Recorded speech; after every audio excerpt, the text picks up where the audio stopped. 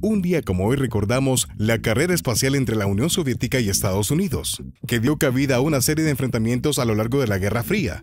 Y es que poco después de la Segunda Guerra Mundial, la exploración del espacio exterior se convirtió en una obsesión para las dos grandes potencias, lo que conllevó un fuerte desarrollo independiente para ambas partes.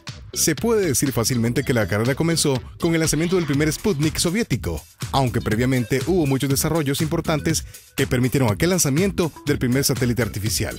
Pero en 1958, Estados Unidos, en su afán de mostrar su poderío, también trabajó duro para el lanzamiento al espacio de su segundo satélite con el cual quiso demostrar su capacidad y gobernabilidad. Finalmente, en 1908, fue la fecha en la que recordamos el nacimiento del actor Rex Harrison, destacado por su trabajo en películas como El Vengador, El Quinto Mosquetero, Cleopatra y Ana y el Rey.